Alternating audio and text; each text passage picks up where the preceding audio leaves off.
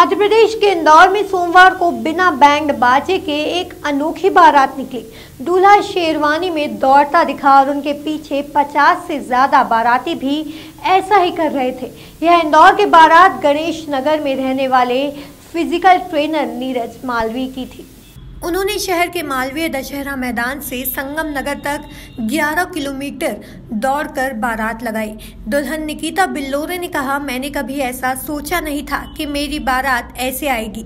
वहीं दूल्हे ने बताया, मैं अपनी शादी को खास बनाना चाहता था, इसलिए शादी के लिए बारात दौड़ते हुए ले जाने का प्लान किया। वहीं दुल्हन निकिता बिल्लोरे भी अपनी पति के साथ इस सरप्राइज़ से काफ़ी खुश नज़र आई।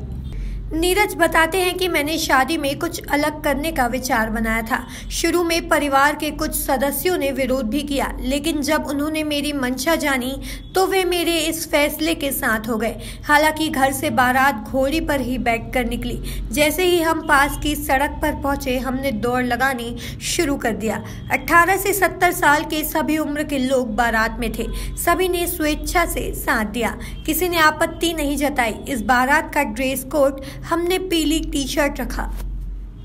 हाँ ये बहुत अच्छी पहल है पर्यावरण के लिए और हम उसका स्वागत करते हैं। स्वास्थ्य के लिए भी अच्छा है। हमारे प्रधानमंत्री जी का जो संदेश है वो उसके लिए भी बहुत अहम चीज़ है ये और हम सबको ये इसमें सहयोग करना चाहिए। हाँ हाँ किया था। ये बात बताई थी कि मैं दौड़ते हुए बारात लेकर आपके यहाँ आऊँगा। ये हम दौड़ते हुए बारात लेके जा रहा हूँ। ख्वाहिश थी बचपन से कुछ शादी में डिफरेंट करूँ और चूँकि मैं फ़िज़िकल ट्रेनर हूँ तो लोगों को फिटनेस के प्रति अवेयरनेस के लिए मोटिवेट करना चाहता हूँ। आजकल की लाइफ स्टाइल ऐसी हो गई कि हम लोग वर्कआउट पे ध्यान नहीं देते। किसी भी फ़िज़िकल फ़िज़िकल एक्टिविटी पे फोकस ही नहीं कर रहे हम लोग। लोग बहाने बताते आज शादी में जाना था आज वहाँ जाना था आज वो फ़ंक्शन था आज ऑफ़िस वर्किंग ज़्यादा था। पर इन सब के बाद भी हम खुद के लिए टाइम निकाल सकते। मैं यही दिखाने के लिए खुद की शादी में रन करते हुए जा रहा हूँ। लगभग ये 10 से 12 किलोमीटर का रन है। वो 50 से 70 बराती साथ में रन कर रहे हैं।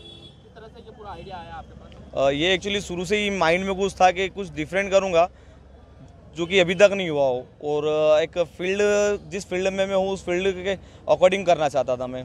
तो ये आइडिया मन में आया और फिर हम लोगों ने प्लान किया, जिसमें मेरे स्टूडेंट्स ने मेरा काफ़ी मदद किया और उसके बाद में फैमिली मेंबर ने उससे ज़्यादा मदद किया कि इस चीज़ के लिए मुझे मना नहीं किया और बोला कि हाँ आप करो, हम साथ में हैं। दीदियाँ जिया जी मामा, हमारे साथ में भाई वगैरह सारे रन कर रहे हैं। फ्रेंड सर्कल में भी सभी लोग दौड़ते हुए इस बारात में शामिल हुए। हाँ एक्चुअली ये मेरा यंगर ब्रदर है। हमें इसका प्रस्ताव लगा, इसने बहुत टाइम पहले मुझे बताया था कि जब भी मेरी शादी होगी, मैं रनिंग करवाते हुए लिया बहुत टाइम से इंदौर में कोचिंग दे रहा है फ़िज़िकल ट्रेनिंग की। दशहरा मैदान पर ये फ्री कोचिंग चलाते हैं। ये सब जो भी हैं एजेड लोग, जितने भी येलो टी शर्ट में आपको दिख रहे हैं, इनके स्टूडेंट्स हैं ये लोग। जैसे इसका लगा हमें कि हाँ यार, बहुत अच्छा वो है ये इसका एक। माइंड में इसके कुछ भी नई चीज़ आई कि हाँ करना चाहिए इसको। सब लोगों ने मना करने का किसी के मन में ख्याल नहीं आया वो चीज़।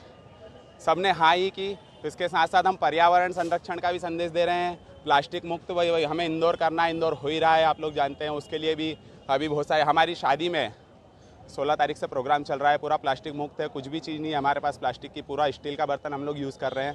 प्लास्टिक की कोई चीज़ डिस्पोजल मतलब डिस्पोजल तक भी नहीं लिया।